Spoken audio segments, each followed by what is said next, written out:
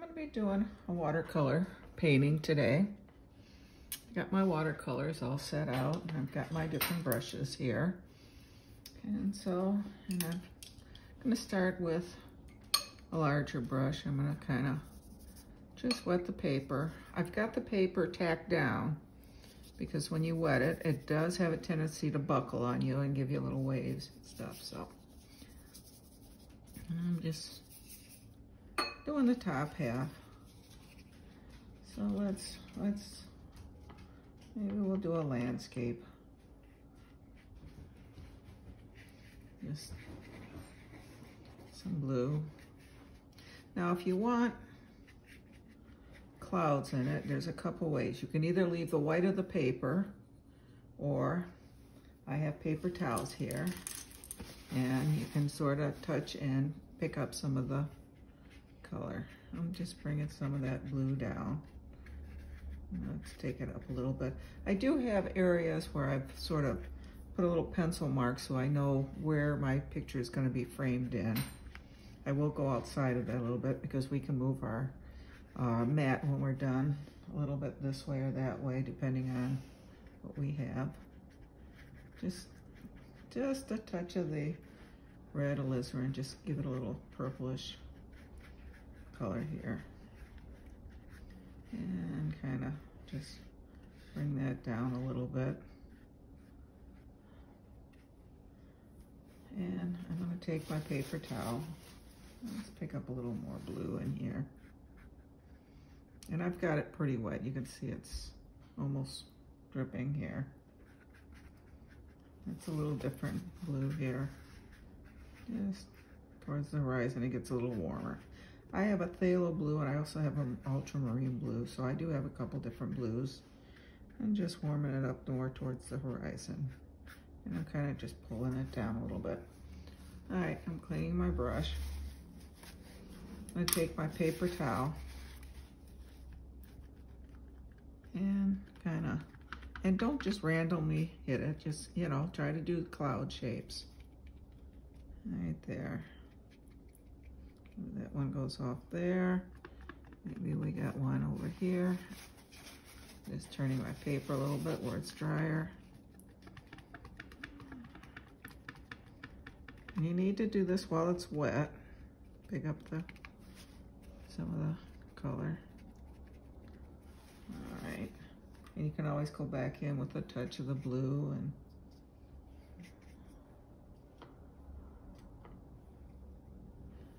a little too much here. Um, you can always pick up some of the uh, of that off. And that's some of the warmer blues. And we're just getting sort of the bottom of the those clouds. I'm gonna bring some of that blue up into there. And back into my paper towels, maybe along in here, some clouds. All right. That looks pretty good. So, I'm just taking water. There's still a little blue in there, that's fine. Right in here. I'm gonna go into some of my greens. Now I've got a viridian green and it's a cool green. It's got a little more of the blues towards it, but I can warm that up with a little bit of my yellows. But I'm still keeping it more towards that cool side.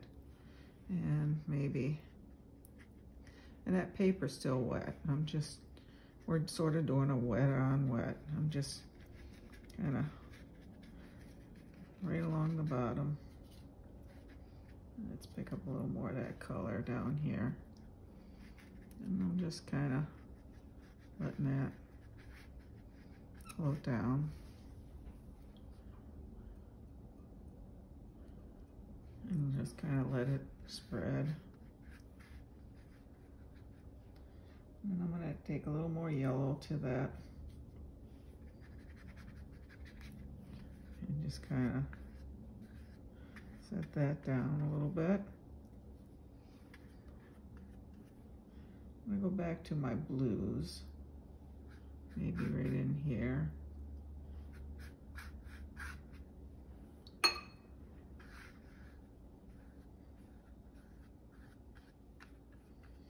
And back to my yellows.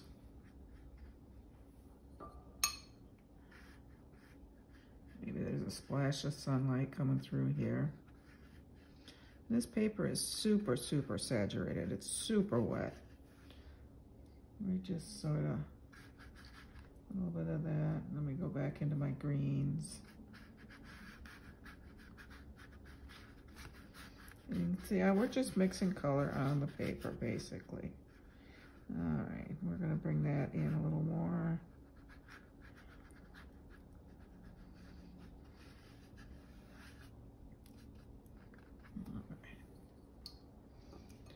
Up here, we can go back in. I've got a little angle. And we can actually go in and scrub some of that color up top.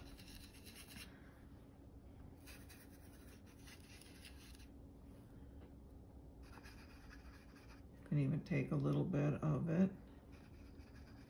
bring it down. So you can change things on here.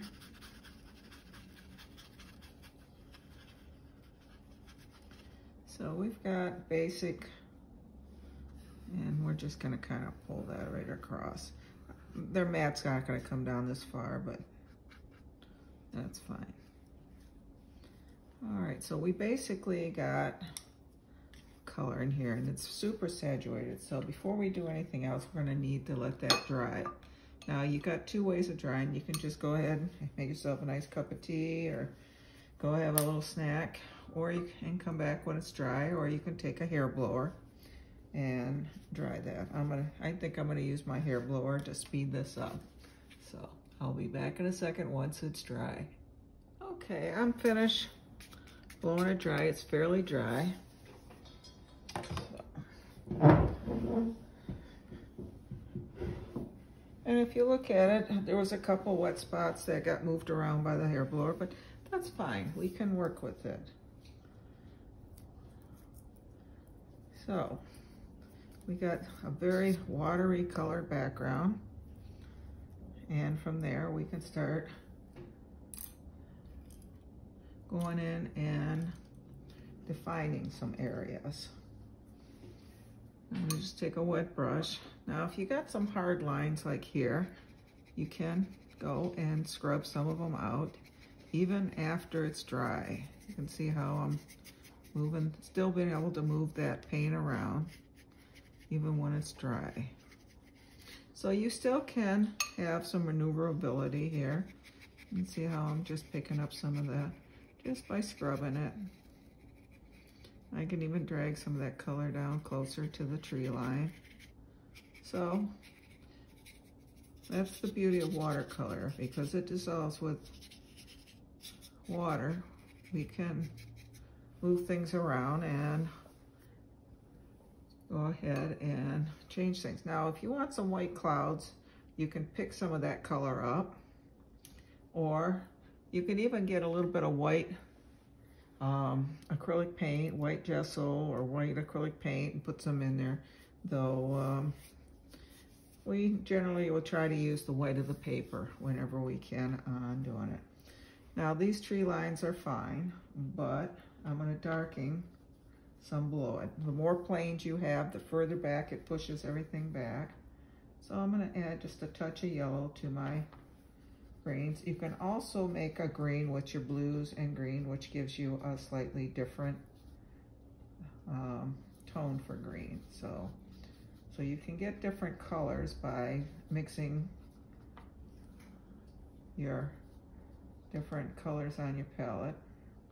Now this green I'm using right now, I have on here, is from the blue and uh, yellow mixed together. This one is more greens with just a touch of yellow in there. So you can get different, different things going on. And in here, we're gonna put a second line of trees.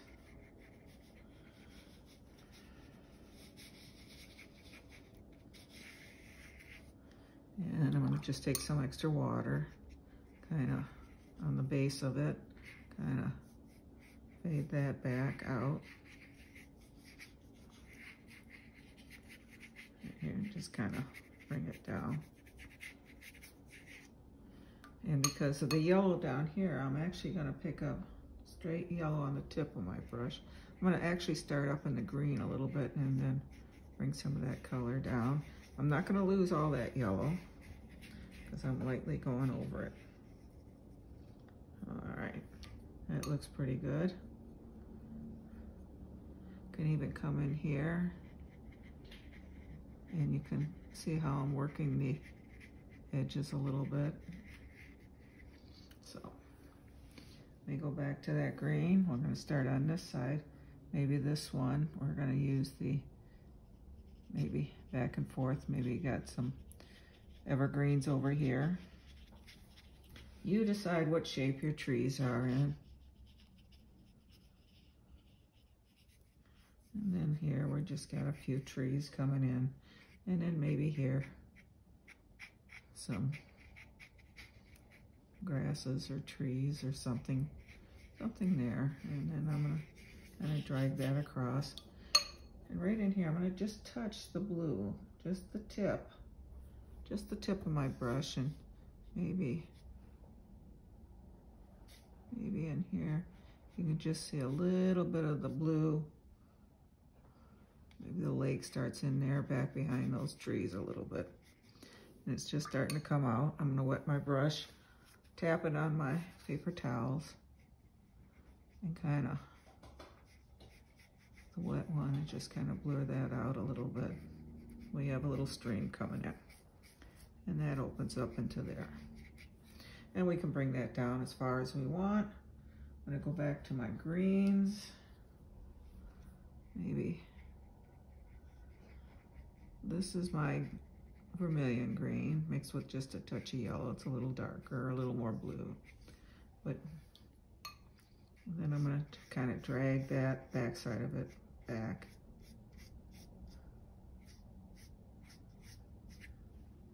In fact, I'm going to even put some, almost like a little separator between that background trees. So and a little bit in there.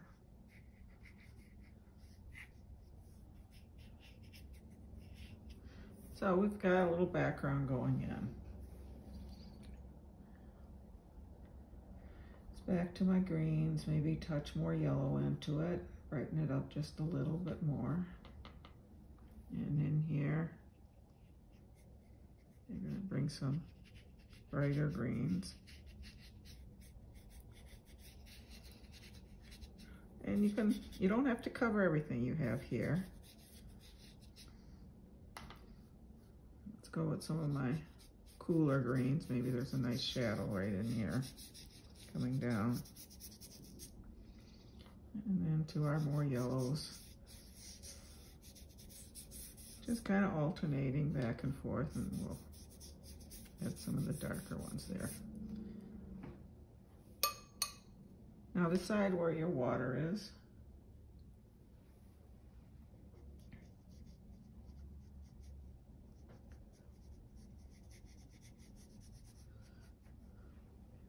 And I'm using the point is where I'm picking up my water and then just sort of dragging it back. So I don't know, let's see. It looks pretty good. And we're gonna drag this out a little bit more. Okay, and now I'm just gonna put a streak there and kind of drag that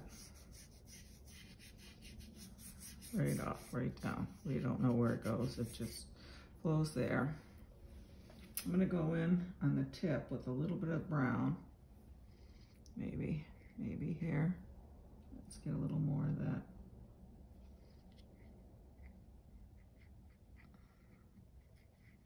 Maybe we got some rocks there, put some water, pull those back. A little bit of dirt, a little bit of rock, something, something along that shoreline. Pick up some of our greens. behind it. Yeah, let's get a little more of that green here.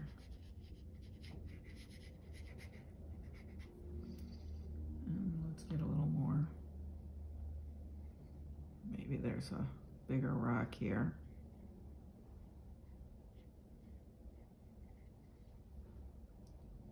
Let's pull that kind of, pull it down a little bit.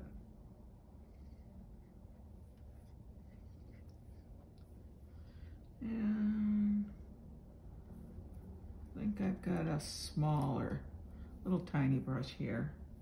I can pick up some greens on it, maybe. Pull up a few grasses underneath it. Whatever brush works. I'm gonna pull that rock back a little more maybe on this side. I'm Just kind of tapping in, maybe there's some pebbles, some rocks, something along that shoreline there. I'm gonna go back, corner my brush, pick up my blues. Maybe along here the water flows.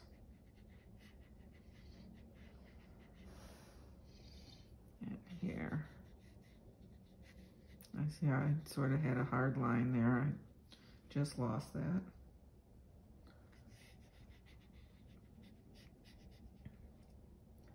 And as that water meanders down, let's give it a little more shoreline here.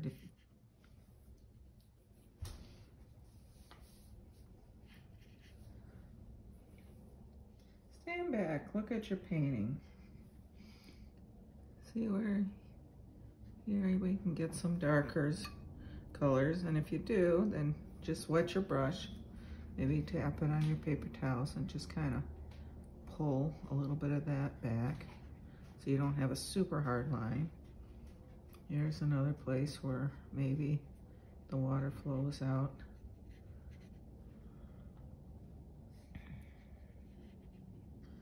And wet my brush, tap it and kind of pull that color back a little ways. So we can, like I says, go in and even put some rocks here. You can even tap some water to kind of pull that, maybe a little beach or shoreline there. You can even bring a little bit of that up here. And let's see, let's form this side a little bit.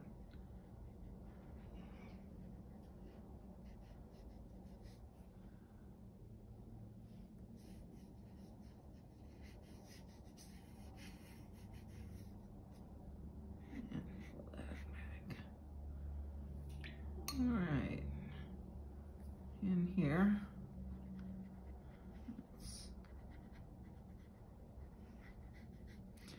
can go and if you want to pick color up, you can just dry your brush a little bit here. I mean, it's a wet brush, but just like tapping. You can even put a few. So, and maybe here. And if you want a waterfall, make it a little darker here and then take some white acrylic over top of it. But we're not going to be doing any of the acrylic painting though some people do enjoy that. All right, so we basically have a nice background. We're gonna add a little grass coming right up to that, where that looks like sand or rocks or something along that shoreline. And I think on this side we'll bring a little, maybe, oh, maybe a touch of the blue widen it here. So go into my water, just pull that back a little bit. All right, we've got a basic background. Now we have to decide what we want to put in there.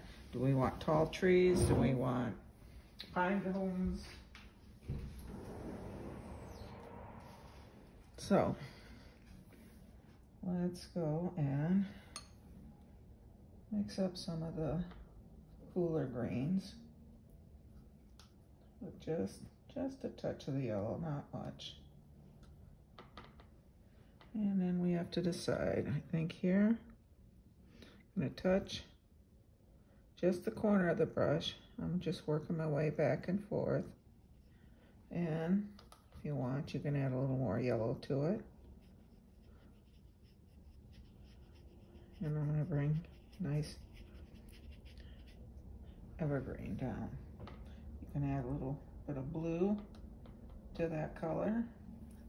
Go back and on the side that, on the shadier side, you can actually add a little bit there. Do it while it's wet so it blends with the tree. Maybe, maybe here, there's another one. That one looks like it's way in the back, so we don't want to lose it entirely. But it's all right if we kind of put something a little more in front of it. That pushes it back. And while making this one a little bit darker, it pushes it in front of this one. So you've got like a line of trees coming through there. All right, let's go back. And maybe, maybe here's one.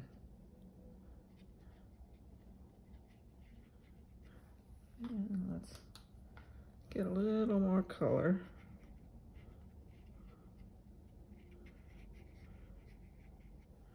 And if it's too dark, take your paper towel, pick up some of the color off, and then go back in and work it a little bit here if you need a few more. All right, we got a nice dark one there. Maybe, maybe here. There's another one. Just going to pick up more color when I disappear. You see my brush disappear.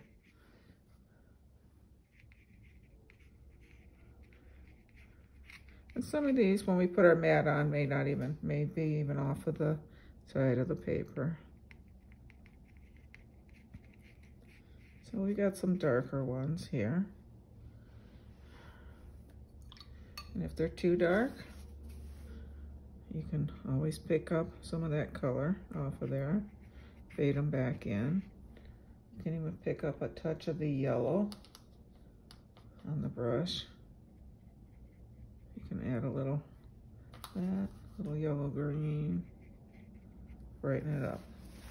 All right, we got a couple trees there. Underneath, we're gonna pull some of that color out because we got some shadows under there. And this one, I'm gonna use a little darker green. So I'm gonna go in to some of my browns here. And as I come down, I push harder. I'm gonna go back, touch. As I come down, push harder. I'm just picking up more paint. Trying to get this a little darker down here.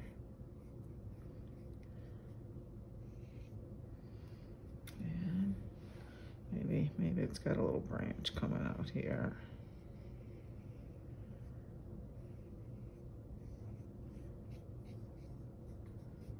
Give it a little foot there. Let's get some of our greens underneath.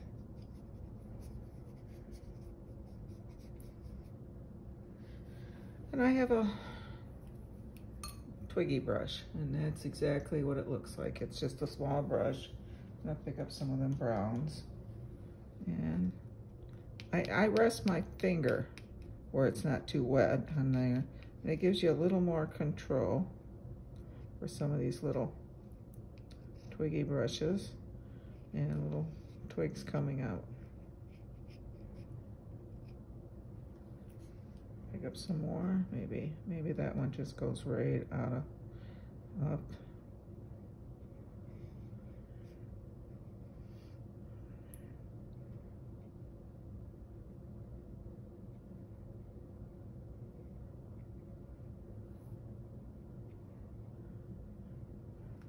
And let's come down here. You can see this one I started out here, but it's up to you which works better for you. I'm gonna make that a little thicker. Maybe there's a branch that comes back over itself. And let's give it one more out here. All right, you put as many branches as you want.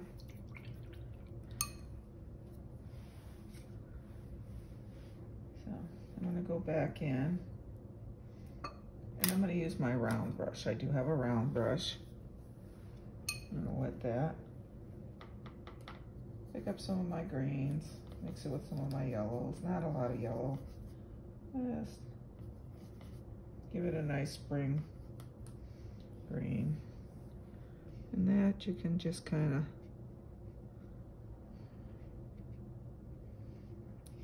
you can actually form some actual leaves, but for now we're just kind of touching, giving the impression that there's some leaves popping out here. Maybe pick up a couple darker ones out here. I'll add a few darker spots here and there some shadowed ones. And that's, that looks pretty good. Maybe a couple right here, right across the trunk. So we've got that. We can come back. Doesn't matter which brush. I'm just, and that still had a little, little bit of color in it. So just And let's see, I'm gonna go back into my greens. And this I'm gonna kind of just, maybe there's some kind of bush here and just, and then pulling the bottom out. And watch the contours. I'm clean my brush. You kind of pull down at an angle. It looks like there's a, maybe the land is coming down on a little hill. See how this comes down to the water? Pick up just a little bit of blue here. Bring that right out over there. And here, I think we've lost some of our blue back up in here. Just kind of faded. Drag some of that color back. Get a little on the corner.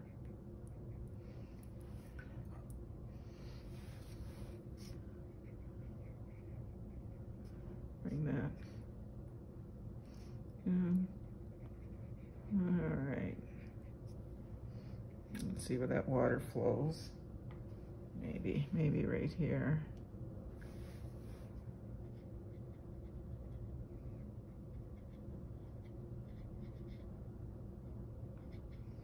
Pull it back, so. And then just plain water, just kind of dragging some of that color down. All right, maybe over here. I'm gonna go back with my Twiggy brush. You can even put a few twigs and stuff here. Something pulling it up. No, it's just wet. Kind of fading them out. Looks like maybe you got some twigs or trees or something back there, some trunks. And over here.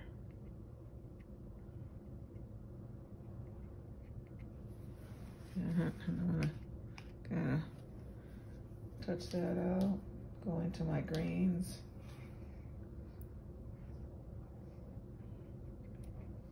Just looks like we got a few sticks or twigs there.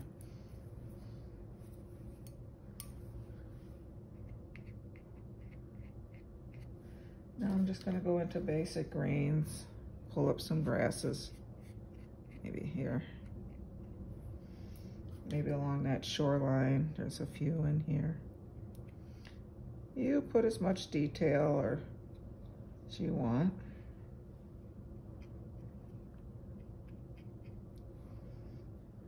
Maybe over here.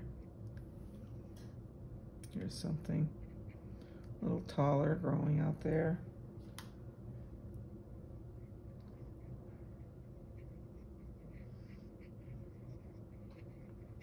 And if you don't like it, just so pull it out, make it look like a grass there. Maybe here. There's a rock here out in the water. And if you put a rock in the water, make sure you do a little reflections underneath. So. All right, stand back, take a look. Let's get our map. Just kind of, oh, maybe, maybe go in here, pick up some of our darks. You can use the alizarin and the blues and that get some of their darks maybe. There's one bird, there's two, and three. Flying in. And I think I'm gonna sign this one. It's just sort of uh, playing around with watercolors.